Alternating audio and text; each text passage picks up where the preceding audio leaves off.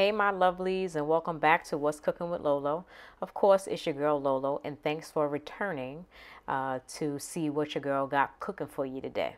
Today, I have the loin cut portion of the lamb. Definitely something different. Don't cook this all the time. Uh, very rarely cook it, maybe twice or three times during the year. Um, but I was tasting lamb, so I went and got some lamb. I came home and uh, washed them in some cold water and apple cider vinegar. You guys know. Um, I got them lined out on a sheet here on some paper towel to help with the drying. Dry them off and let's get this party started. All right, so we got our seasoning here. You know, it will be in the description box what the seasoning is. You know, I always put it into a container instead of touching all my containers as we, you know, touching the meat here. So let's start to season these. Now, it looks like a lot of seasoning. We're not probably not going to use all of it, but you know how I do, right? You know I like my meat to be seasoned. I don't like no bland meat. And if I'm cooking it, then I'm going to cook it the way I like it, right?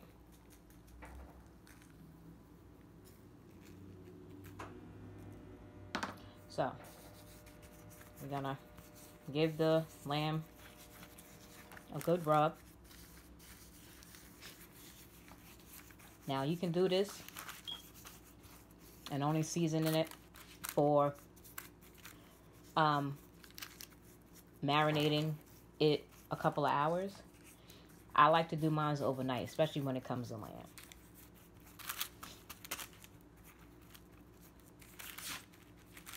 All right, so let's get these suckers flipped and season the other side.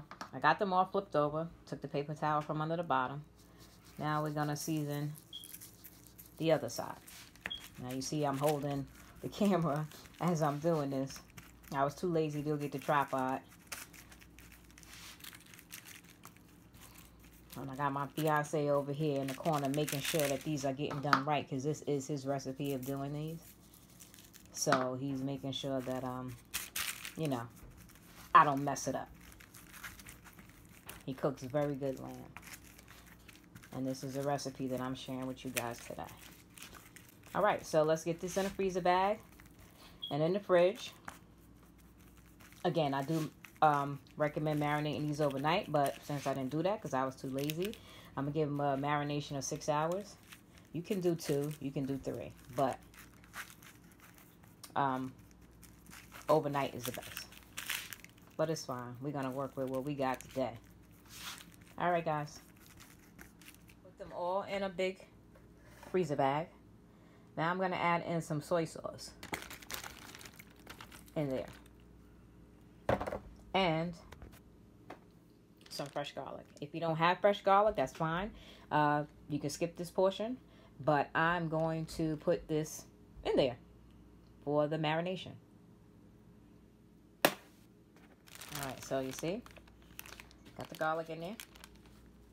Got the um, soy sauce. If you don't have soy sauce, you can use Worcestershire sauce um, instead. It works just as good. So, I'm going to put this camera down.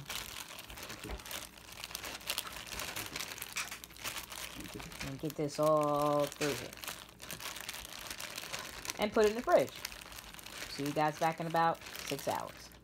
So let's get our lamb started. I got the pot already on here. And we're going to go around the pan a couple of times with your extra virgin olive oil. We're going to sear our lamb first. I had the meat marinating for about six and a half hours now. Like I said, I recommend it marinating overnight, but sometimes that's not possible. And it wasn't possible. So I'm going to put my lamb in.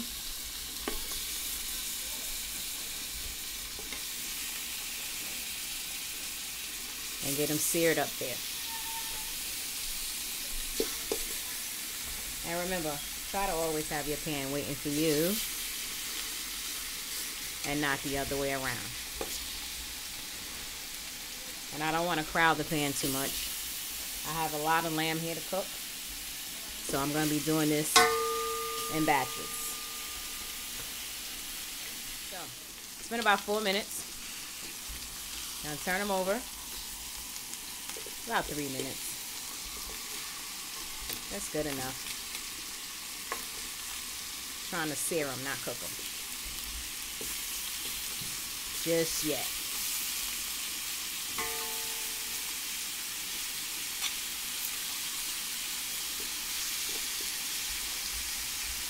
All right, so we're gonna let that go for about another three minutes. So it's been about three minutes. Now, you notice how on the sides they do have some fat. Let's see if we can get these to stand up and sear some of that fat as well. If you can, that's great. If you can't, that's fine. This is the way my fiance cooks it. He takes his time with it. I don't want to be in here all night trying to cook no lamb.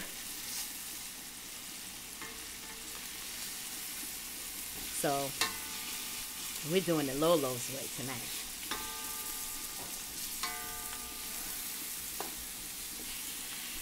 So, again, if it can stand, that's fine. If not, don't worry about it.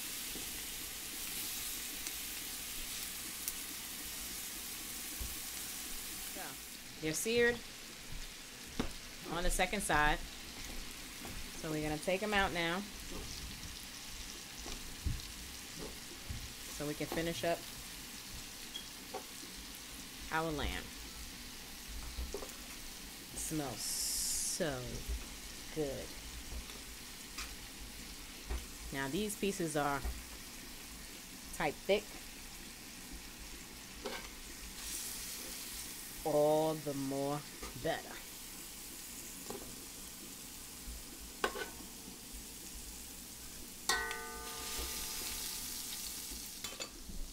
In here, we're going to take our red peppers, get those cooking down. I cut up one, excuse me, two red peppers, two onions,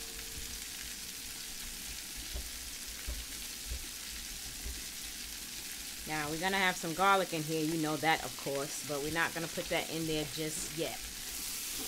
So let's give that a good stir. Get all that flavor from the bottom there. Because that's all flavor, baby. That's Flavor Town right there. I'm also going to add in four tablespoons of butter to help with all this flavor eruption here. This is 12 cloves of chopped fresh garlic that we're going to put in. If you don't have fresh garlic, that's fine. You can use that minced garlic that's already, you know, chopped for you. I always make it a point to use fresh garlic because that's just what I like. The taste is totally different from what you buy in those containers that's already already chopped. But it's fine to use. I've used them in the past until I got turned on to the fresh garlic. So it's just a preference of mine. That's it for you. Got a cup of red wine. All right, so after you add the red wine, I let it cook down for about another three, four minutes. Now, I have one 28 ounce can of crushed tomatoes that we're going to add in. And give that a good mix.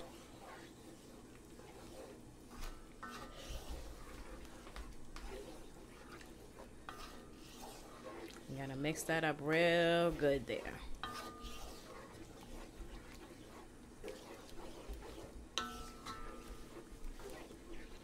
I have one more thing to add. I have four cuts cups of chicken broth that we're actually going to put in there.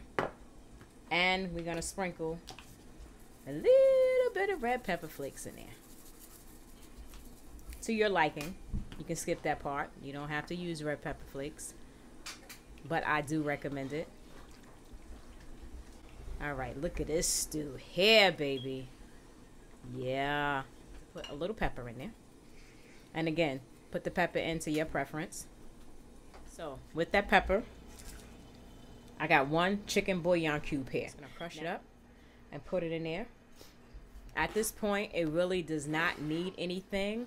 If you feel it does, then add in, you know, whatever it is else that you want to add in. But at this point right here, it is fine. We'll test it again when it's done and add in any other little thing. But usually this works perfect the way it is. So let's get our lamb chops down in here. One by one. Let's get these babies in this beautiful bath here of red wine, crushed tomatoes, onions, red pepper, crushed garlic. And remember, these lamb was marinating for six hours. Overnight would have just hit it right on the head. But even still, this is really good. All right, so that's the last of it. Now, let's just take our spoon here and get some juice over them.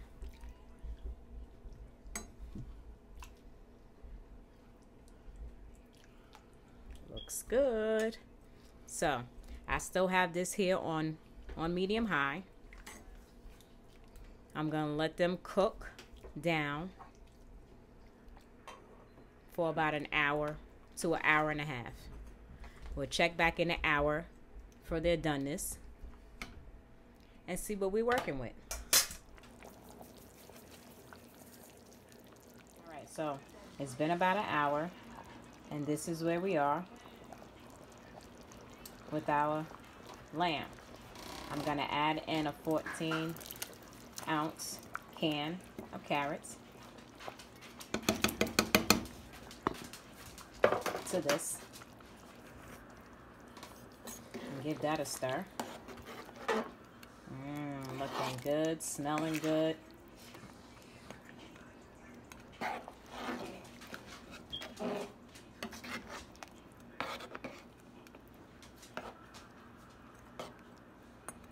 right, and we're gonna let this continue to cook for another half an hour, 40 minutes. So it's been an hour and 45 minutes. We are done. Let's get these plated up. So our lamb is complete. Let's pour some juice on it. Put some rice at the bottom if you like. Or some noodles. And there we have it.